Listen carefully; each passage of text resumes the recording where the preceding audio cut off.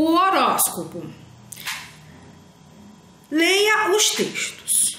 Nós temos aí, né, dois signos, tá? Leão e Sagitário. Leão é o meu horóscopo, é o meu horóscopo, não é meu signo. Fique atento com as finanças e priorize despesas mais essenciais. Bom momento para refletir sobre gastos efetivamente úteis. Né, gente? Ainda mais nessa pandemia aí, né? Enfim, Sagitário. Atende-se para não se preocupar demais com objetivos distantes de resolver e, de, e dê atenção ao que precisa ser resolvido com mais urgência.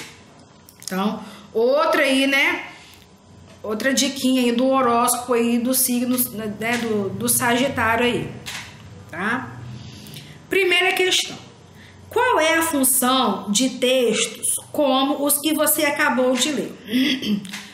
No caso ali do horóscopo, né, que foi o que a gente acabou de ler, apresenta, né, uma previsão do que possivelmente acontecerá na vida das pessoas em um determinado dia de acordo com o seu signo do zodíaco. Geralmente, aliás, geralmente não, sempre o horóscopo é atualizado todos os dias, tá? Cada dia é uma atenção aí diferente para cada signo. De, aliás, da, do, do mês, né?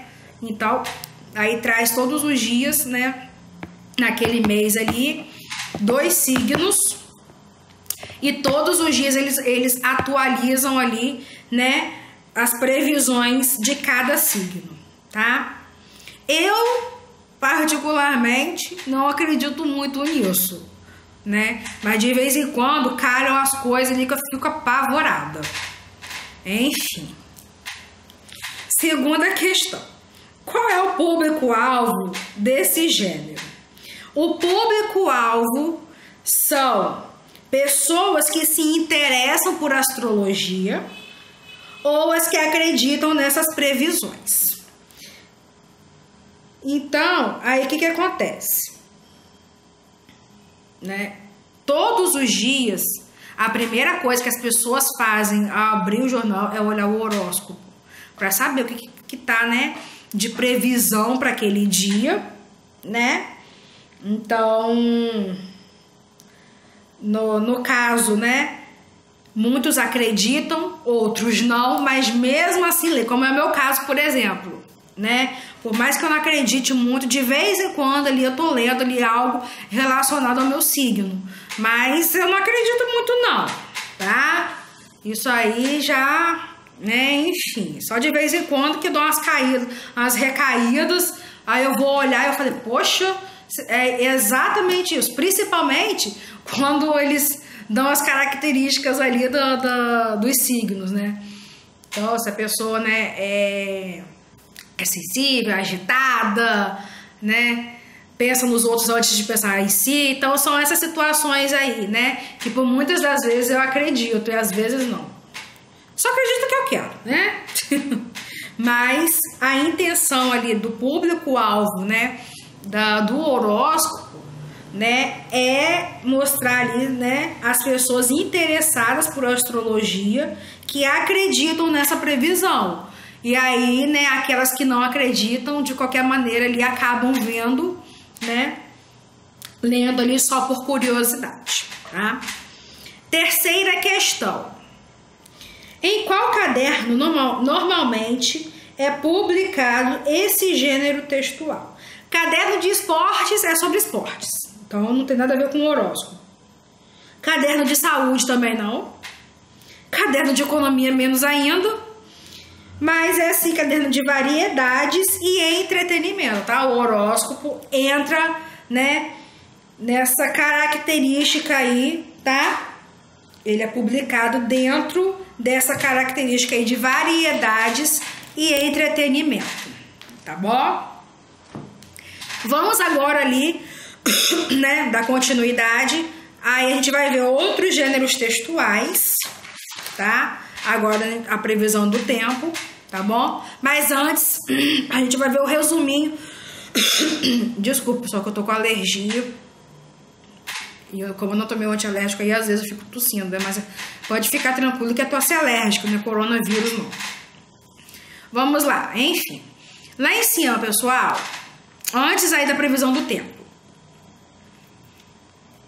Podem grifar, tá? O que eu vou ler, que é importante também, que são as definições aí do horóscopo.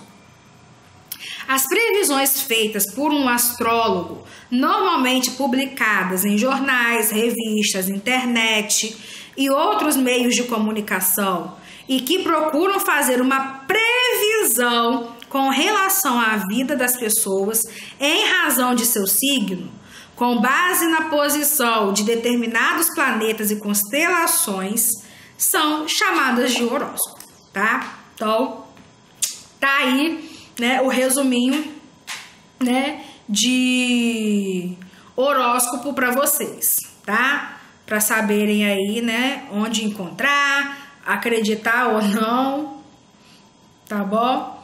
Então, vamos aí dar continuidade. Previsão do tempo.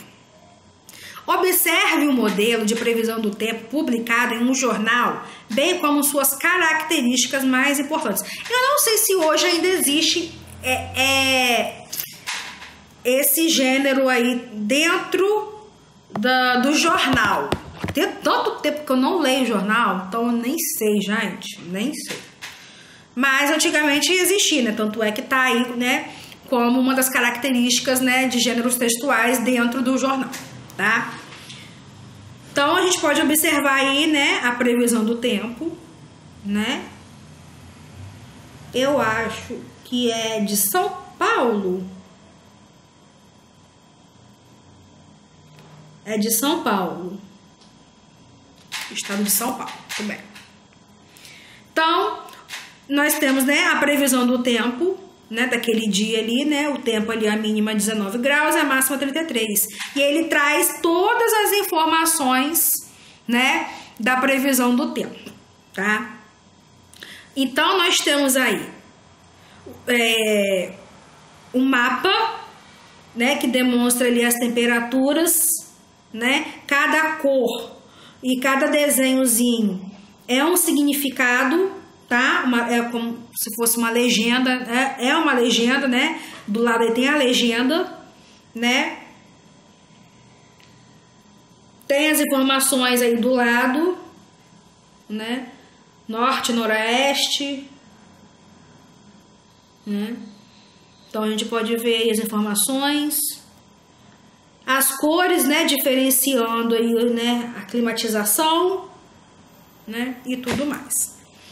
O gênero textual, geralmente composto de mapas que demonstram as temperaturas por meio de cores que podem ser identificadas em uma legenda, é chamado de previsão do tempo.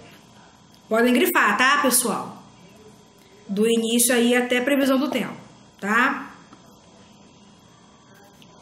Ah, pode continuar grifando.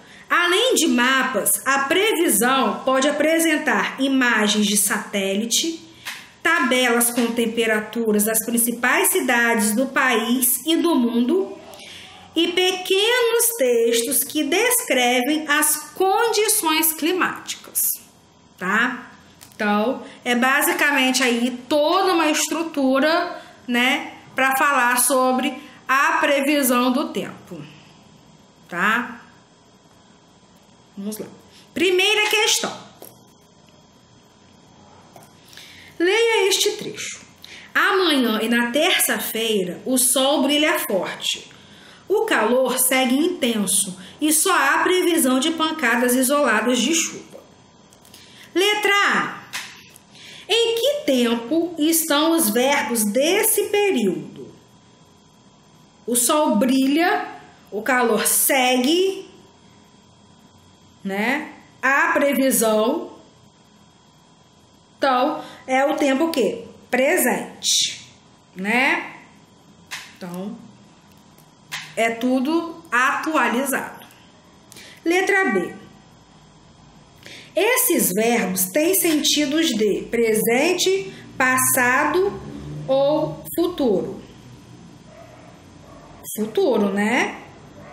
ainda que, né, seja os verbos ali no presente, o a, ó, amanhã e terça-feira, tá? É no sentido ali de falar do dia seguinte, tá ok? Letra C. O tempo verbal empregado nos textos de previsão do. Ah, vocês não estão vendo, desculpa. De previsão do tempo possui sentido diverso do que teria normalmente. Assinale a alternativa que indica por que isso ocorre. É o primeiro ou segundo quadrinho? primeiro quadrinho. Porque verbos no presente dão credibilidade à informação apresentada, diferente das formas verbais no futuro, que são mais formais e transmitem a ideia de imprecisão da informação. Sim, por isso que eles utilizaram o verbo no presente, né? Mas para transmitir ali, né, da credibilidade à informação apresentada, tá? E no futuro não teria tanta credibilidade assim, tá bom? Porque verbos no passado dão credibilidade. Aí tem outro quadrinho aí embaixo. Primeiro vocês marquem, né, o primeiro quadrinho. Vamos ver se o segundo também corresponde ali, né, as informações. Porque verbos no passado dão credibilidade à informação apresentada. Não que a gente viu isso, né, que não tem nada a ver. Diferente das formas verbais no presente, que são mais formais e transmitem a ideia de imprecisão da informação. Não, é o contrário, né? Ele aí mudou, inverteu né, o contexto, mas é ao contrário, tá bom? Programação de televisão. Vamos agora conhecer esse outro